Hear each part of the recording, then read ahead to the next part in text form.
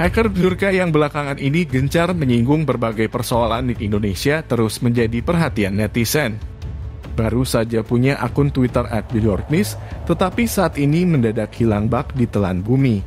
Sejak tadi pagi, Minggu 11 September 2022 Bjorka sudah jadi trending topik di lini masa Twitter, mulai dari mengungkap otak pembunuhan aktivis HAM Munir, sampai menyinggung berbagai pejabat tinggi, seperti Dirjen Aptika Kementerian Kominfo Semul Abrijani Pangrapan, Ketua DPR Puan Maharani, hingga Menteri BUMN Erick Thohir. Bahkan, Penggiat media sosial Denny Siregar juga tak luput dari ledekan Jorka dan mengundang berbagai reaksi netizen Indonesia. Mereka tampak ada yang pro dan ada yang kontra dengan Jorka. Namun pada siang ini, akun @jorkis tidak bisa dibuka lagi di Twitter.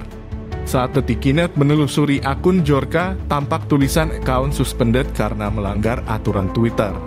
Netizen yang sedari pagi memantau langsung bertanya-tanya, Akun Twitter @judorkanis ini memang terbilang anyar terlihat baru bergabung pada bulan ini, di mana baru mulai main tweet sejak 9 September lalu.